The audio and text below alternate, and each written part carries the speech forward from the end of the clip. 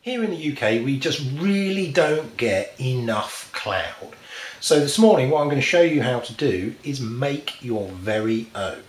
And it's really simple. This is all you need. Got a jug, and in that jug is a mixture about 50-50 water and isopropyl alcohol, otherwise known as rubbing alcohol. You can get it from chemists, etc. I've got a two litre plastic drinks bottle. I've got a bicycle track pump and I've got a piece of 8mm copper tube with a bung on the end. And here's what we do. So firstly, you get your mixture of water and isopropyl alcohol and tip that into the bottle.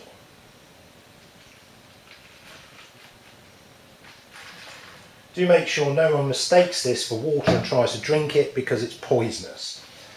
Then you get your copper tube and your bung and push that tightly into the top of the bottle. Next, connect up your pump. Now luckily, the Schrader valve fitting on a car foot pump or a bicycle track pump is 8 millimeters, so this will fit directly onto the end of the copper pipe.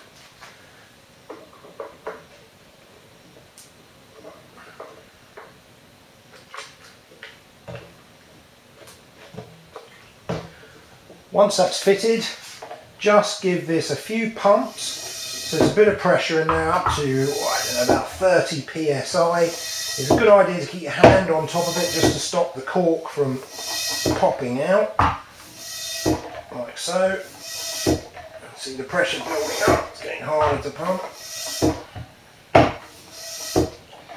And then once you've reached 20 or 30 psi, simply quickly remove the top like that. And inside there, you have your very own cloud. So, now imagine you want to get rid of your cloud. You don't pour it out or anything like that. All you do is put the bung back in and repressurize. And as if by magic, the cloud has vanished. Hey, but wait a moment. We want our cloud back. And there it is again. So what's actually happening? When we suddenly reduce the pressure by taking the cork out the top of the bottle, some of the water molecules and alcohol molecules in the liquid at the bottom are actually able to leave the surface of that liquid and enter the air above.